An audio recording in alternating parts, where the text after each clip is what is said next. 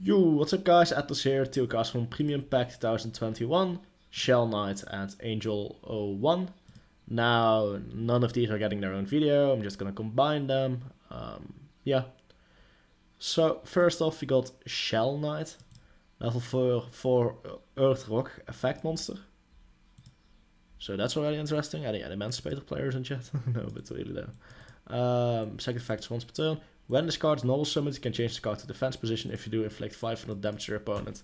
Ah yes, minuscule burn effects in 2021. This card's gonna get released in 2021.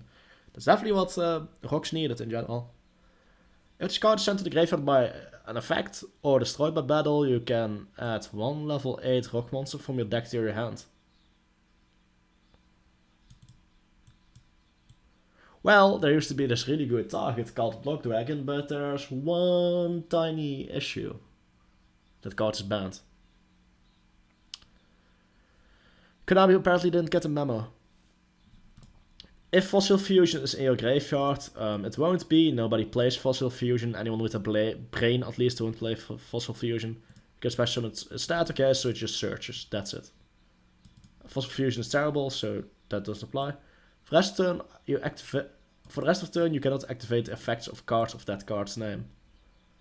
Ah, uh, yes, we search something but cannot activate the effect, so any chance of this being good just went out of the window. This card is trash. Next up, Angel 0101, uh, whatever.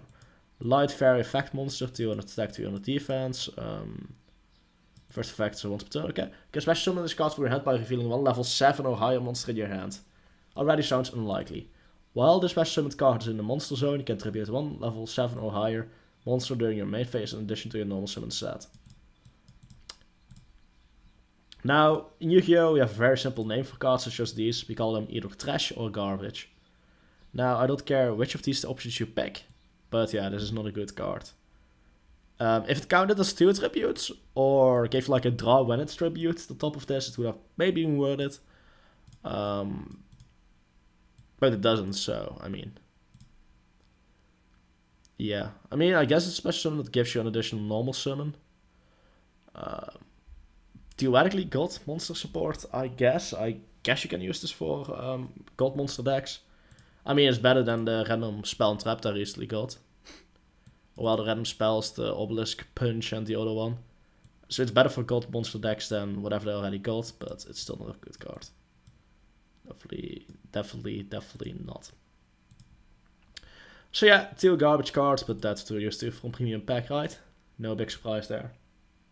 Regardless, hope you guys liked the video. See you guys next time. Atlas signing out. Peace.